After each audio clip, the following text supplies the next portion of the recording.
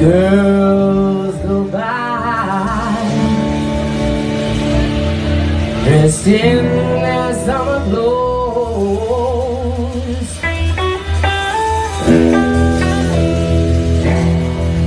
I had to turn.